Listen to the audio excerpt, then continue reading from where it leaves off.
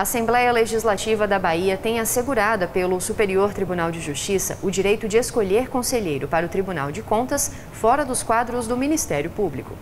O presidente do STJ, ministro Humberto Martins, suspendeu decisão do Tribunal de Justiça da Bahia que impedia a Assembleia Legislativa de nomear para uma vaga de conselheiro do Tribunal de Contas dos municípios da Bahia pessoa que não integrasse o Ministério Público de Contas.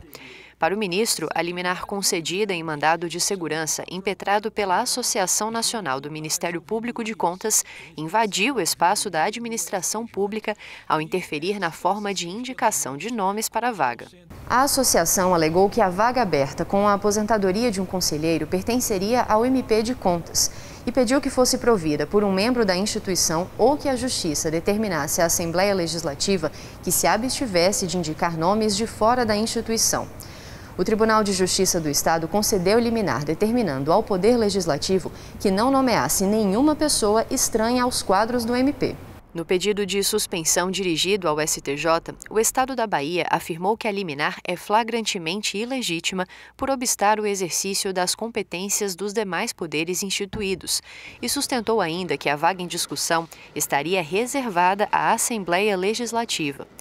Na análise do pedido, o ministro Humberto Martins destacou que a decisão do TJ da Bahia desconsiderou a cronologia e a proporcionalidade da distribuição de vagas entre o Executivo e o Legislativo Estadual e não prestigiou a jurisprudência do Supremo Tribunal Federal sobre o assunto. Ele lembrou que os atos administrativos possuem presunção de legitimidade e veracidade, e pensar em sentido oposto configuraria uma forma de desordenar a lógica de funcionamento do Estado.